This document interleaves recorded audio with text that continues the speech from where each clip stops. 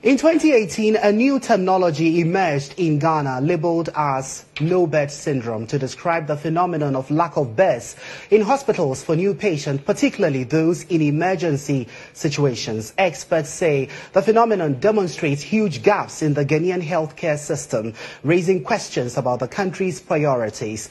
On the Big Fix tonight, we put the spotlight on the seemingly neglected health crisis. Evelyn Araba Adu begins our coverage tonight. All citizens have a right to emergency medical care according to Ghana's constitution. The aim is to establish efficient and effective accident and emergency services to reduce disability and deaths in hospitals. But what happens when patients with emergency cases are turned away with excuse of lack of beds and do not even get first aid. It is a sorrowful moment here in the residence of renowned high life musician Nana Isia PSA. Tears have eluded these relatives and sympathizers due to the treacherous way they believe their loved one was treated at the St. Moses Community Hospital and at the 37 Military Hospital. The 57 year old police Abba hitmaker died on Monday, April 4, 2022, after a car crash on the Pokuase Odumasi Junction around 4 p.m. His closest friend, Eric Asiedu, says a good Samaritan rushed him to the St. Moses Community Hospital. But the time Eric got there, there was a confrontation between the Good Samaritan and the doctor at the facility. For a good 40 minutes, Nana Isia PSA was not attended to, even though he was still breathing. Eric recalls that after almost an hour wasted without any life saving care, authorities at the St. Moses Community Hospital then referred him to the 37 Military Hospital.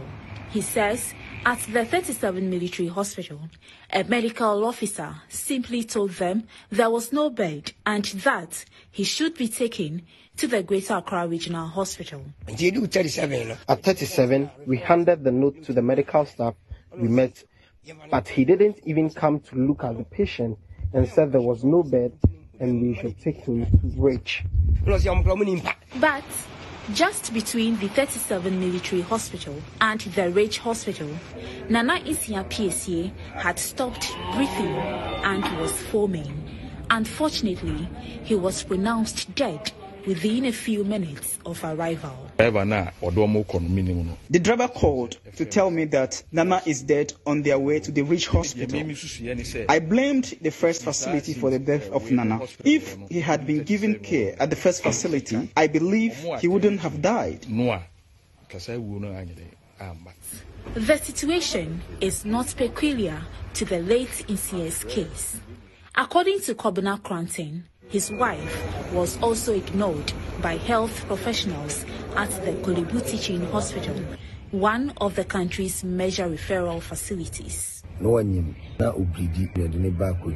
My pregnant wife started bleeding at night.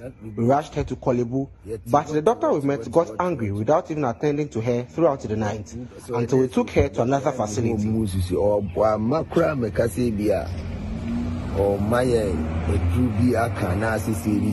On March 9, at the Korle Bu Teaching Hospital again, I chanced upon this critically ill patient being wheeled out of the emergency unit and lifted into a taxi by her relatives without any assistance from any of the staff as they had been turned away from the facility due to lack of beds.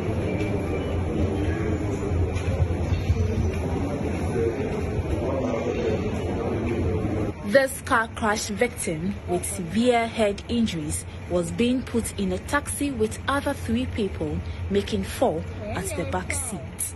That was the scene at the Mamobi Government Hospital when I got there on Saturday, March 12, 2022 at 7.52 in the morning. About 90% of emergency cases are brought into health facilities without an ambulance. According to the policy and guidelines for hospital accidents and emergency services in Ghana, an accident or an emergency is an injury or illness that is acute and poses an immediate risk to a person's life or long-term health. Patients with potentially life-threatening symptoms such as headache, chest pain, abdominal pain, collapse of unknown cause, and severe injury of which care is given accordingly after what is termed as triage or sorting at the emergency. A major challenge in the health facilities is building capacity of the emergency room staff as well as resourcing them with enough logistics. Unavailability of beds does, does just not mean there is no bed. Sometimes it's got to do with resource available. Sometimes it's got to do with the person may need oxygen and they do not have oxygen. The more they keep the person there, the more harmful it is for the person. Currently, there's no data on deaths that occur in the emergency room. The Ghana Health Service says it is now working on gathering data, raising questions about the seriousness attached to this issue.